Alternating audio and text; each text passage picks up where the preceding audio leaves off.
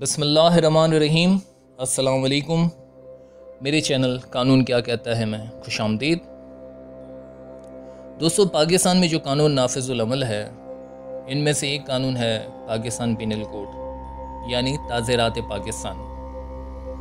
1860 का ये कानून है, यानी प्री पार्टीशन लॉ है, और पार्टीशन के बाद रियासत ने इसे कंटिन्यू रखा है। इस कानून में कुल 511 दफात, यानी सेक्शंस हैं। इनमें से चंद एक से मुतल हम गुफ्तु करेंगे। आज जिस सेक्शन से मुतल हम बात करेंगे, वह सेक्शन 53 इस दिफा के अंदर सज़ाएँ जो एक अदालत मुजरम को दे सकती है, इसके मुतालिक वजाहत दी गई हैं। और वो सज़ाएँ हैं, मौत की सज़ा, उम्र कैद की सज़ा, दियत की सज़ा। दियत से ये मुराद है कि कत्ल की सूरत में मकतूलिन के वर्सा वली जो है, कातिल को पैसे लेकर माफ़ कर दें।